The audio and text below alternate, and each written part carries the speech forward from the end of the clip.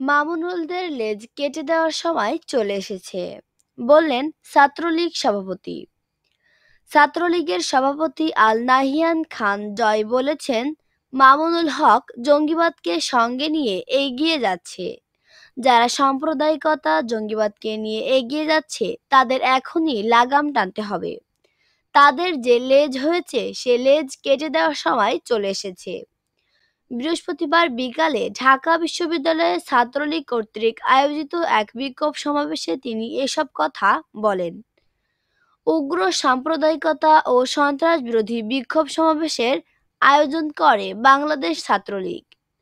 সমাবেশে ছাত্রলীগের সভাপতি আল নাহিয়ান খান জয়ের সভাপতিত্বে ও সাধারণ সম্পাদক লেখক ভট্টাচার্যের সঞ্চালনায় উপস্থিত ছিলেন ঢাকা বিশ্ববিদ্যালয় ছাত্রলীগের সাধারণ সম্পাদক সাদ্দাম হুসাইন, ঢাকা উত্তর মহানগর ছাত্রলীগের সভাপতি মোহাম্মদ ইব্রাহিম হোসেন, সাধারণ সম্পাদক মোহাম্মদ সাইদুর রহমান হৃদয়, ঢাকা দক্ষিণ মহানগর ছাত্রলীগের সভাপতি মোহাম্মদ মেহেদি হাসান ও সাধারণ সম্পাদক মোহাম্মদ জুবায়ের আহমেদ সহ বিভিন্ন শাখার নেতাকর্মীরা। আল নাহিয়ান খান জয় বলেন, জাতির পিতাকে না পেলে আমরা বাংলাদেশকে পেতাম না। জাতির পিতার ভাস্কর্য নিয়ে যারা কথা বলেন, তারা মূর্তি আর ভাস্কর্যের সংজ্ঞাই জানেন না। আমাদের নবীজি কখনো বলেননি কারও ধর্মীয় অনুভূতিতে আঘাত হানতে। তাহলে কীভাবে আপনারা অন্যের ধর্মকে নিয়ে খারাপ কথা বলেন? আমরা স্পষ্ট করে বলতে চাই, এই অসাম্প্রদায়িক বাংলাদেশ কোনো সাম্প্রদায়িক শক্তিকে মাথাচাড়া দিতে দেওয়া হবে না। ডাকসুর সাবেক এজিএস ঢাকা বিশ্ববিদ্যালয় ছাত্রলীগের সাধারণ সম্পাদক সাদ্দাম হোসেন বলেন, একাত্তর সালে চারটি মূলনীতির জন্য বাংলাদেশের তিরিশ লাখ শহীদ প্রাণ দিয়েছেন। বাঙালি জাতীয়তাবাদ ধর্ম নিরপেক্ষবাদ সহ চারটি মূলনীতি নিয়ে নতুন করে তালবাহানা করার কিছু নেই। একাত্তর সালেই আমরা এর মীমাংসা করেছি। বাঙালি জাতীয়তাবাদের ভিত্তিতে বাংলাদেশ পরিচালিত হবে।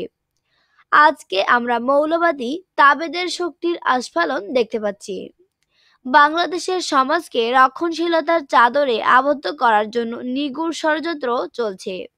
তিনি বলেন, একাত্তর সালে যাদের আমরা পরাজিত করেছি, বাংলাদেশের প্রত্যন্ত অঞ্চলে আজকে তাদের আস্ফালন।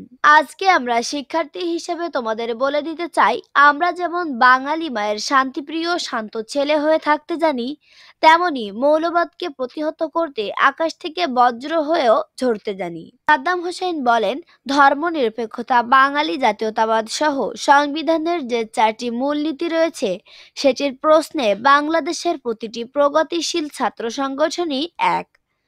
চারটি মূলনীতিকে উদ্দেশ্য করে নতুন করে তালবাহানা করার চেষ্টা করবেন না। এই চারটি মূলনীতি নিয়ে যারা ছিনিমিনি করতে চায়, বাংলাদেশের ছাত্র সমাজ তাদের বিরুদ্ধে দুর্বল জবাব দেওয়ার জন্য প্রস্তুত রয়েছে। ঢাকা মহানগর উত্তর ছাত্রলীগের সাধারণ সম্পাদক মোহাম্মদ সাইদুর রহমান হৃদয় বলেন, এখন থেকে জাতির পিতাকে নিয়ে যারা কটুক্তি করবে, তাদের আর ছাড় দেওয়া হবে না। হুকুম দিল কে আসল না নকল, তার আশায় বসে থাকা হবে না। আমরা ঢাকা মহানগর উত্তর ছাত্রলীগ অতীতের মতো সারা ঢাকা শহর দখল করে আন্দোলন করে বুঝিয়ে দেব, আমরা ছাত্রলীগের কর্মী, শেখ হাসিনার কর্মী, বঙ্গবন্ধুর কর্মী।